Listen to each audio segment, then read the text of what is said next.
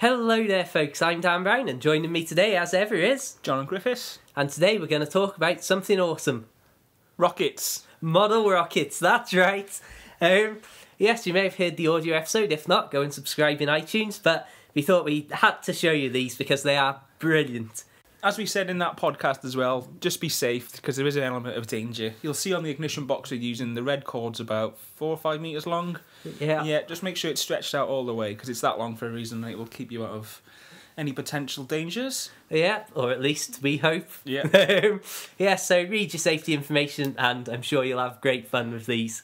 Anyway, on to the rockets. Uh, the ones you're going to see in this video are the Estes Hijinks and Rascal rockets, and the launches you're seeing here will be roughly 200 and 550 foot high. In its crudest form, it's literally stuffing the engine in one end and stuffing a parachute in the other with the uh, nose cone on top. That sounds like a plan to me. yeah. And you see see us putting the igniter in the other end and connecting the crocodile clips. And that's what's connected to the battery in the ignition unit. And it just it's a little short circuit which heats up the, the igniter and that's what ignites the engine and starts the launch. Yep, and well, it is just brilliant. I think we'll take this moment now to stop speaking and just enjoy some launches. One.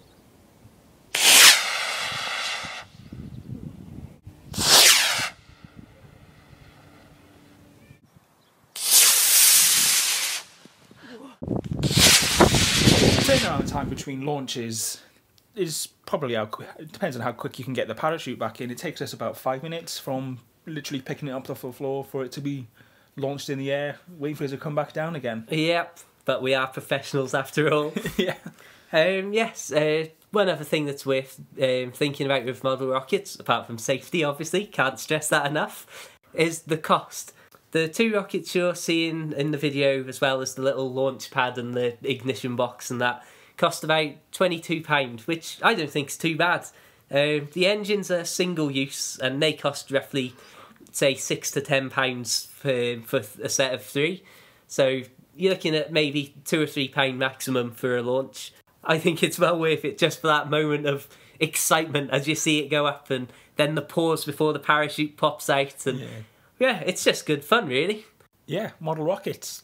We love them. We certainly do. And you know what else we love, Jono? The internet? Yeah, any particular part of it?